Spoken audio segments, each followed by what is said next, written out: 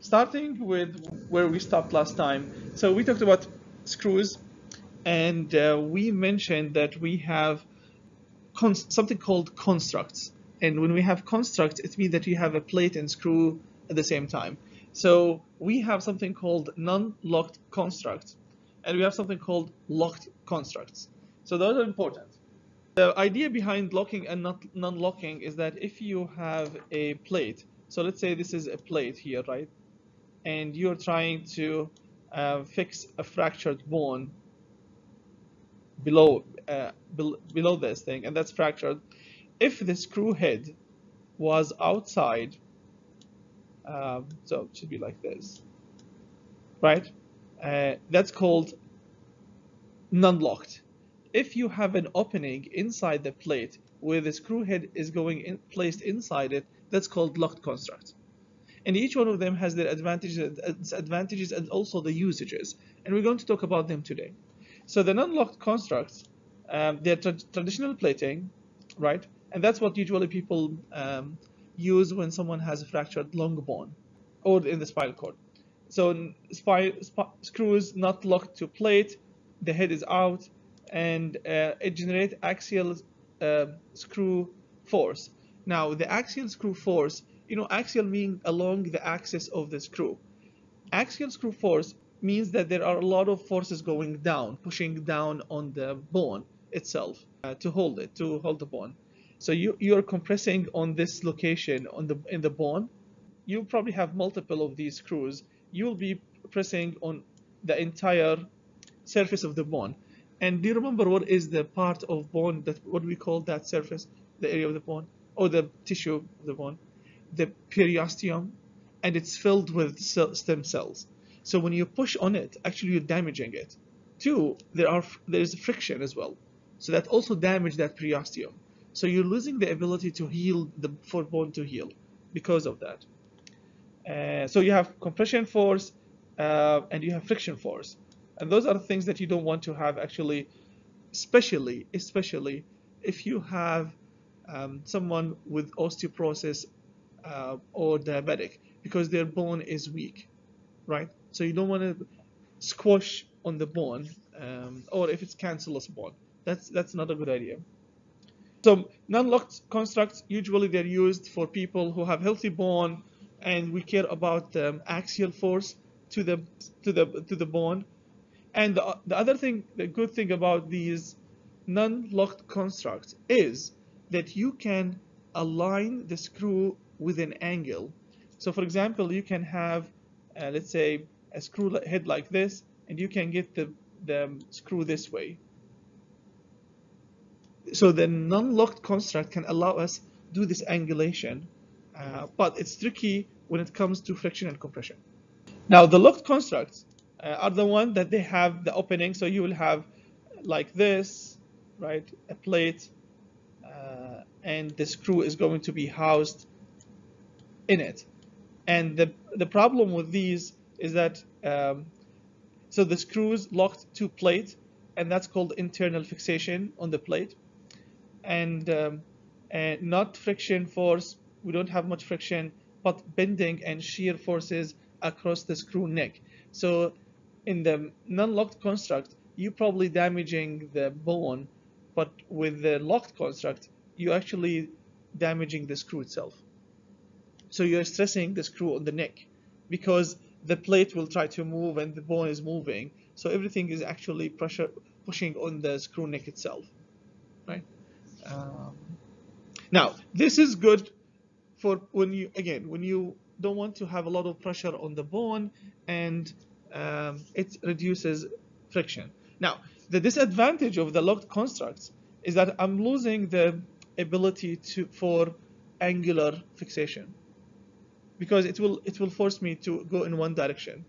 And the other thing that's important, orthopedic surgeons like to have a feel of actually of the bone and the screw being fixed. With the locked construct, they lose that feeling because they have to put the screw in the housing where it's, it's hold there and they keep screwing until it stops so they don't have a feeling of how far or deep they went into the bone like the non-locked constructs So if we are working with an orthopedic surgeon and you're, let's say, working for a company like Stryker and you're trying to provide them with plates and screws for a specific surgery, you need to know these kind of information and to help them decide which one they need to use. Now, non-locked construct, the advantages of it, allow screw angulation, catch bone fragments, so especially because you can do the alignment or the angulation, you can bring bone fragments to the bone. So for example, if you have a bone piece like this, right, and a piece went out here, uh, yeah, so we, we, we lost one piece, you can have a, a screw with an angle, right, and bring it into the bone itself uh, because of the angulation. Now the problems with it or disadvantages, if external load, you know, if there's any loading externally affects the plate itself or the construct, you'll have friction load uh, and the plate may slip uh, because the head is outside of the plate.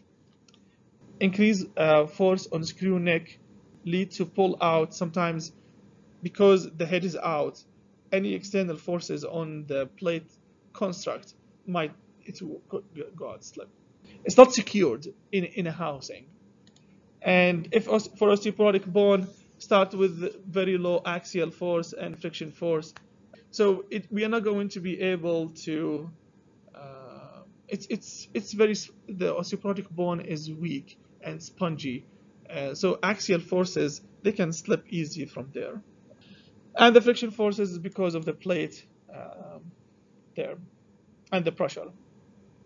Now the locked uh, plating load is mainly in bending, less in axial pull, right? Um, so because it's in housed in its location, we are not worried about it coming out from by axial force, right? Coming out. But bending is a problem.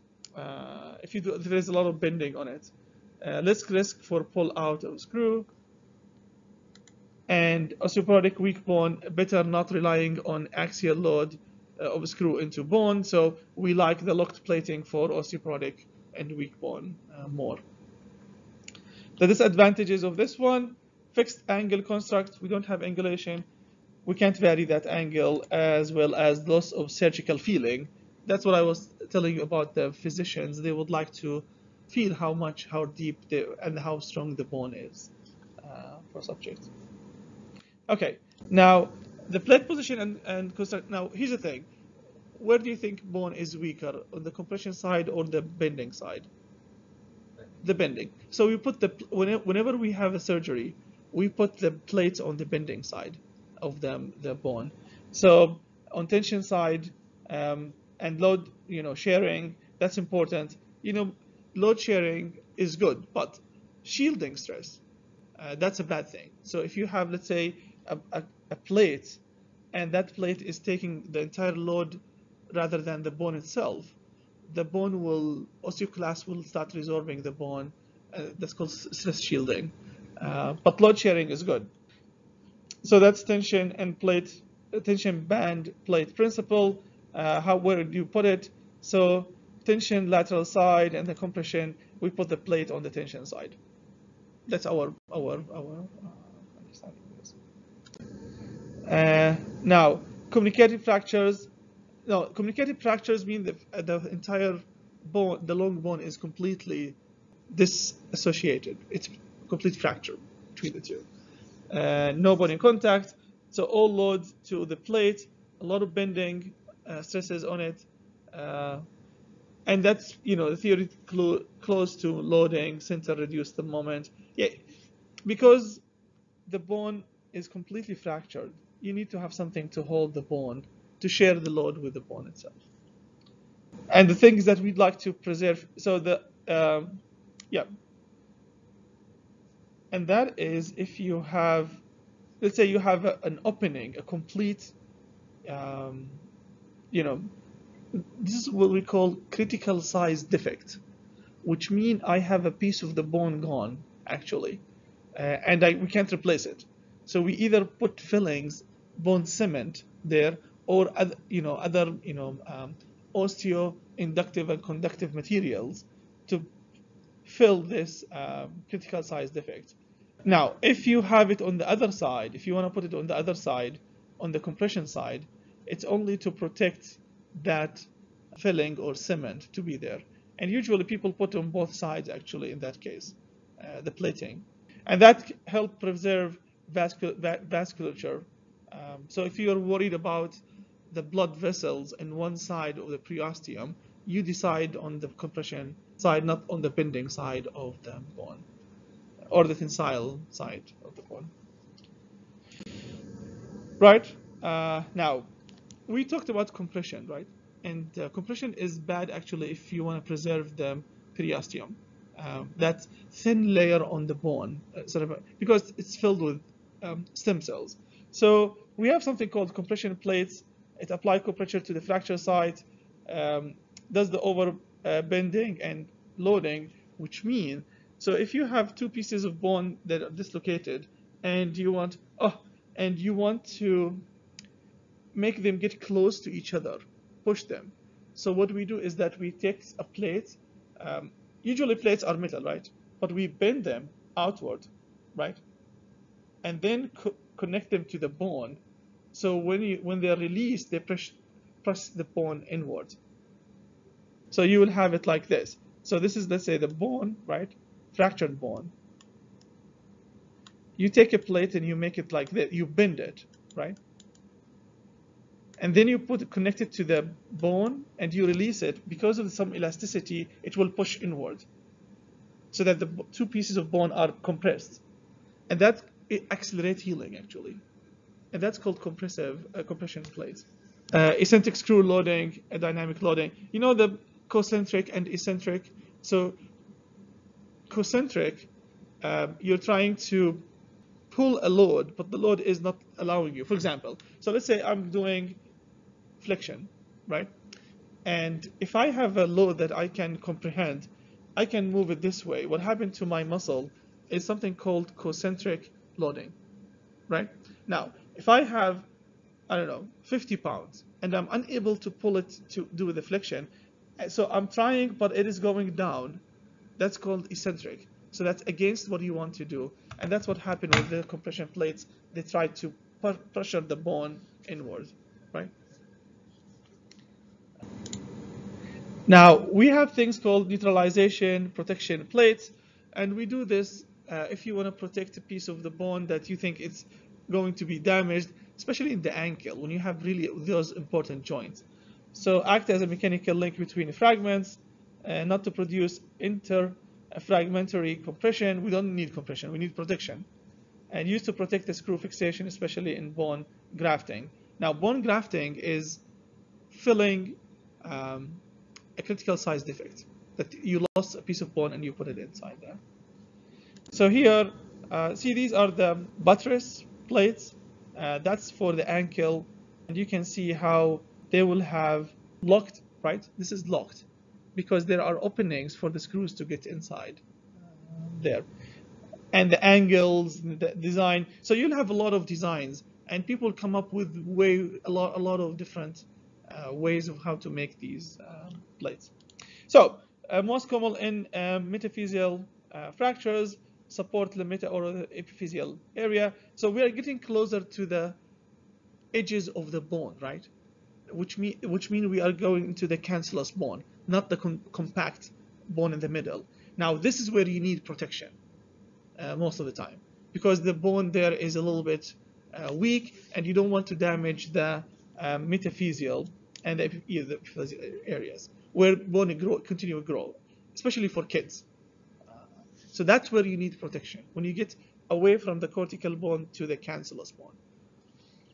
Okay, distributes uh, force over a wide area. That's why we have it big, right? Uh, the area. Uh, because you don't want them to be just aligned in the middle, the screws. And what you do also uh, maintains proper location of bone and reduce induced uh, to protect it. And this is, I think, a schematic that present that.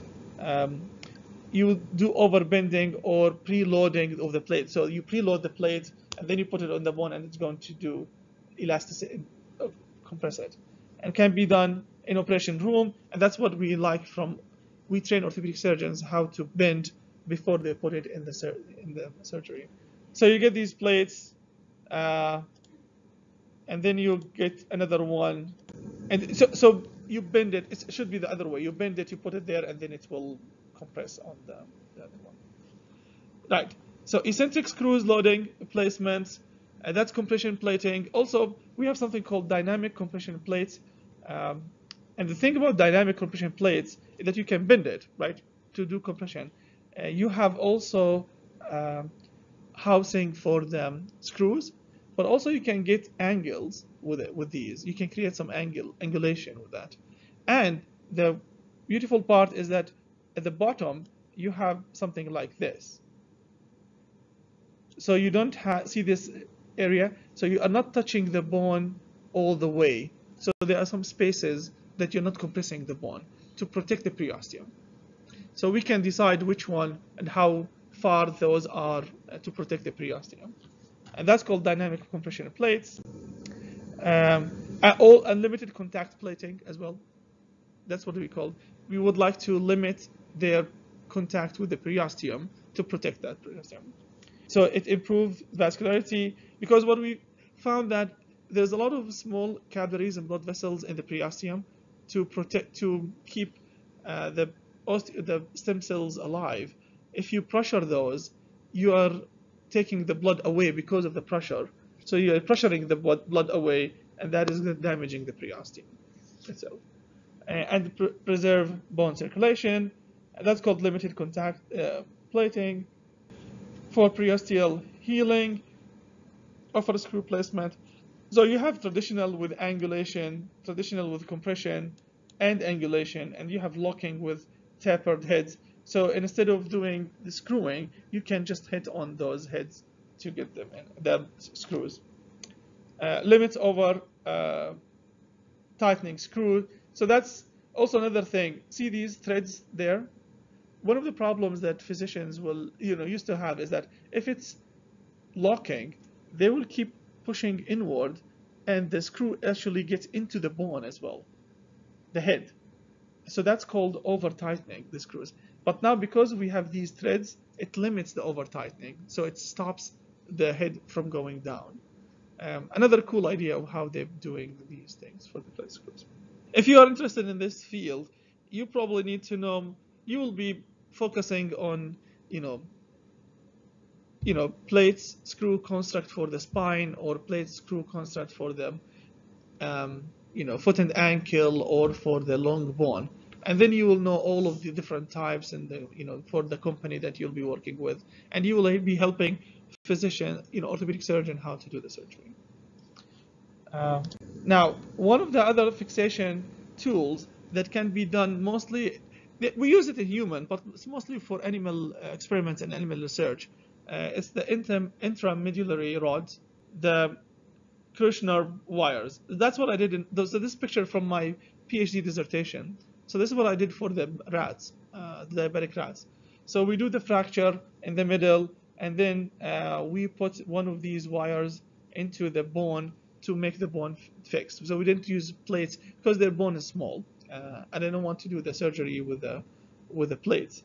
So we had these K wires uh, and that's called mid-diaphyseal fracture in the middle uh, was created, and we apply treatment for the for these rats uh, during the surgery with a you know material and the release you know that releases proteins over a long period of time, and then you see the bone healing. So you can tell which one do you think is the one the best one that healed. See right? See how much this is dense bone. Uh, so A was um, no treatment at all. So, and that I think it was four weeks after surgery, no uh, diabetic rats, it didn't heal at all. Uh, now, this one here, we just gave them the carrier, which is the material, without any drugs. Um, still having an opening, it didn't do anything. Now, this is a low dose of the, the PDGF, platelet derived growth factor, right? This is a high dose of the PDGF.